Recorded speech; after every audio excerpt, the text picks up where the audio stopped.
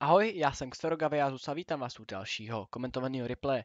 Tentokrát to bude bitva s mým nejoblíbenějším strojem ze hry a to se strojem Type 62 Dragon. Je to stroj, který je rovněž můj nejhranější tank a to o hodně, je to zhruba 1500 bitev na druhý nejhranější tank, což je um, bohužel je 6. Tak, je to jedna z nejpovedenějších bitev průběhově za poslední dobu a určitě stojí za to, abych se s vámi o ní podělil. Eh, jsem teda v dobrém sedmičkovém matchmakingu, tři sedmičky na každé straně s tím, že máme mapu Falskity, která je v celku dobrá pro lighty, protože eh, je otevřená a dají se tady dobře řešit takové ty 1V, XY, počet nepřátel situace. Právě díky tomu, že je otevřená, můžete to hrát přes dohled a kamufláž, respektive kamobonus, eh, které právě lighty mají. Obecně je to jedna z mých oblíbených map, řídím stroj, který je rychlej a má jednu z těchto vlastností, jako teda kamufláž nebo dohled, ideálně obě dvě dohromady, což tento stroj přesně splňuje. Eh, Mezi jsem si tady střílel do té jedničky, která to tu hrála strašně špatně a dal jsem jednu ránu Čirině. Bohužel jsem za to byl potrestán od AT-15Ačka, eh, který kempí někde tam u toho mostu. Cherry eh, mi dalo jednu ránu, druhou dinglo a pak už asi přebil zásobník, takže jsem ho zabil. Takže to nebyl problém. Tak, vyplácal jsem si adrenalin, tady si dáme ještě jednu rychlou ránu do VK 2801, no a nyní přijde na řadu tento Cromwell. Cromwella teďka má 215 HP, budu si nabít Hčko s tím, že doufám, že ho probiju do boku, bohužel jsem ho neprobil, takže jsem mu nechal 100 HP, 115, a e, teďka jsme ho bohužel dingle. Já jsem mu vlastně trefil bok, ten vnější bok e, byla škoda, ale nevadí. E, zabil jsem teda Cromwella a teďka jeden pro to VKčko. Dalo mi ráno, nicméně teďka bylo doraženo. A nyní to je 4v3. E, my jsme čtyři, nepřátelů jsou tři. Mají ještě plného Leoparda, plnou, plný AT-15Ačko a takřka plnýho Arla. Dám si na auto M jednu ránu do toho Leoparda s tím, že se nespotnu. Si do něj dám ještě jednu. První nepřítel umřel, Leopard zabil tu naši veku a teďka jsem se teda už rozsvítil na to Arla. Ale TTBčko tady light, který je dobrý, ale ne tak jako typ 62. Zůstal tam na spot. Teďka, co jsem mohl udělat, je vystřelit jítem a nejspíš ho probít. Nicméně, kdybych se vystřelil, tak bych se spotl a nepřítel by věděl, co mám v plánu. Protože můj plán byl následovný. Dojet si pro toho Arla, zabít ho, zabít Leoparda a pak AT-15Ačko se mu můžu nalepit na zadek a nějakým způsobem to už vyhrát. Nejdřív si teda jsem do této pozice, eh, teďka jsem si teda řekl, že si že to AT15 nastřílím, kdyby něco. Zkoušel jsem tady ráno do toho už bohužel jsem ji nestihl a teďka tady uh, bude trošku série špatných rán, nebo spíš trochu smolných rán, kdy jsem uh, cinkl dva hity a teďka ještě udělám chybu, vyjedu si moc a budu potrestaný s tím, že tu ránu opět neopětu, protože jsem ho mm, dingl. Už teda zemřelo i to LTTBčko a nyní umře i to KVčko.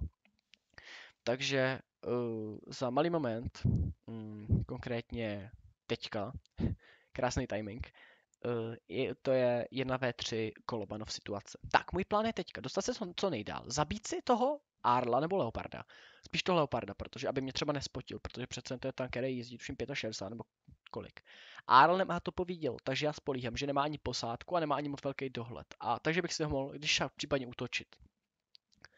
A ta AT-15 to je TD bez věže, pomalý, takže to by neměl být problém. Jedna rána do Leoparda, eh, tato rána prošla, ačkoliv eh, on se despotnul předtím, než tam ta rána doletěla.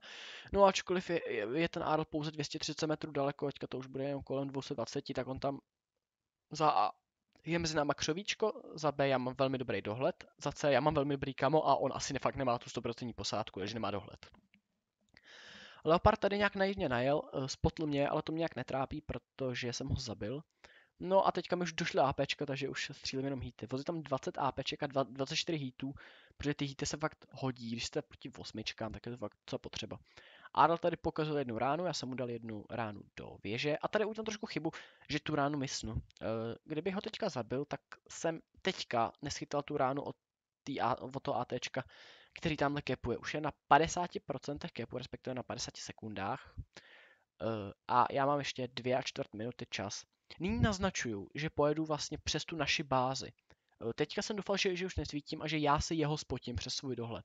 On se teda zajel, pak mi zasl A já jsem teda naznačil, že pojedu přes naši bázi. Ve skutečnosti se ale otáčím a pojedu, tady teďka zahnu doleva a pojedu vlastně přímo na ten cap.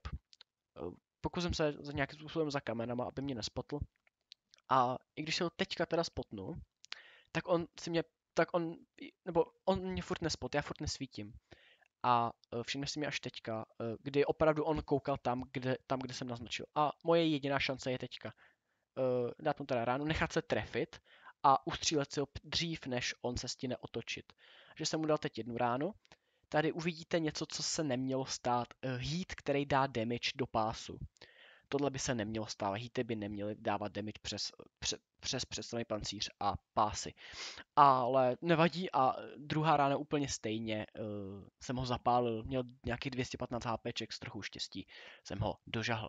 Takže téměř 5000 damage, Ace, High Caliber, Válečník, Redley, Obránce a Kolobanovka. Po trošku delší době, vlastně poslední Kolobanovku jsem dal s tou 120, uh, přičemž odkaz na toto video Eh, bude na konci tohoto videa.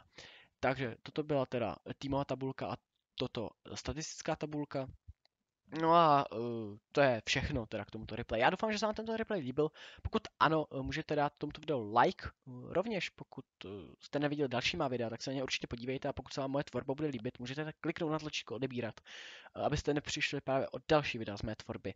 Ještě jednou vám moc krát děkuji za sledování. Nyní uprostřed na tlačítku teda můžete odebírat nebo se podívat na nějaká další videa. Eh, která jsem si pro vás vybral, že by vás mohla zajímat. Tak jo, ještě jednou moc krát poděkuji za sledování a budu se vás těšit někdy u nějakého dalšího videa. Zatím se mějte a ahoj.